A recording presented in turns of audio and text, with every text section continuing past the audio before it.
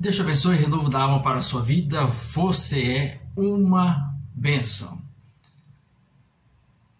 Pare com isso. Coloque um ponto final nessa situação. Se você não colocar, quando os anos passarem e você chegar a uma determinada idade, você vai olhar para trás e observar: por que, que eu não fiz isso lá atrás? Por que, que eu não tomei essa decisão lá atrás? Por que, que eu não fui mais incisivo, mais contundente? Por que, que eu não tive uma postura elevada em relação a isso? De quê? De parar, de não permitir, de deixar que, você, que as pessoas escolham por você. Quando você vai parar, quando você vai pôr um fim nisso, deixe não permita que as pessoas continuem escolhendo por você. A gente passa a vida toda assim. Tudo que você faz nessa vida foi porque outra pessoa escolheu. Observe bem, desse pouco espaço de tempo que você tem aqui na Terra, de tudo que você, os caminhos que você percorreu, as trajetórias que você seguiu, as escolhas que você fez, foram puras, ou seja, foi você mesmo quem escolheu foi você mesmo quem quis ou foi outros que o fizeram? Ou seja, familiar, a mídia, as programações televisíveis, seja de séries, filmes. Veja se foi você mesmo que escolheu. Por exemplo, eu vou seguir determinada profissão porque essa vai me proporcionar isso.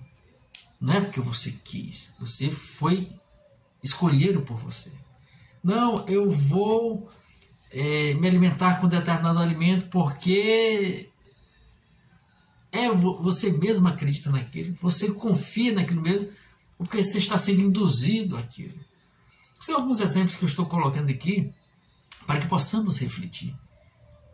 Ah, eu sigo esse tradicionalismo desde os meus pais, mas você nunca parou para pensar se verdadeiramente é isso, se é verdade, se tem de certa forma um fundo de veracidade.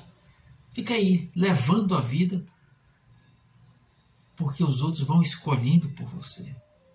Pare, reflita. Cristo nos chamou para a liberdade, para você pensar por si só, seguir o teu destino, ouvir a você mesmo. Quantos momentos você passou, parou para ouvir a si mesmo?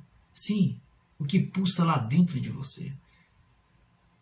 Começar a se escutar e deixar de escutar o lado externo. Porque se for você se deixar levar pelo lado externo, eles vão só trazer situações para te modular, te manobrar para os seus próprios interesses. Porque todos nós temos interesse, todos nós. Agora o seguinte, qual que vai se sobrepor? É o seu ou são de outros sobre você? Do sistema, principalmente o sistema mudando. Eita, esse dá pressão diária para você optar, para você se dirigir em seguir os passos conforme ele coordena. E a grande massa segue o sistema do mundo. Porque ainda não, se ab não abriu entendimento para isso. E aqueles que de certa forma se libertaram disso recebem algumas nomenclaturas aí não tão agradáveis, né? Por quê? Para, de certa forma, inibir os outros, para que os outros também não possam pensar por si só. Não. Você tem que pensar conforme eu quero que você pense. E as pessoas são assim, levadas, conduzidas aí. Cristo te chamou para a liberdade. Já nos diz o escritor em João 8, verso 32. Se, pois, não, e conhecereis a verdade, e a verdade vos libertará. Mesmo capítulo 8 de João, agora verso 36. Se, pois, o Filho vos libertar, verdadeiramente sereis livres. Seja livre para escolher. Seja livre para se conduzir neste mundo. E a liberdade está em Cristo. Ele é a verdade que você encontra. E ao encontrar essa verdade, você começa a abrir seu entendimento e começa a compreender, a entender o real sentido da sua vida e os propósitos para ela. Você está aqui neste mundo para um propósito. Você já descobriu qual é? Você já descobriu qual é?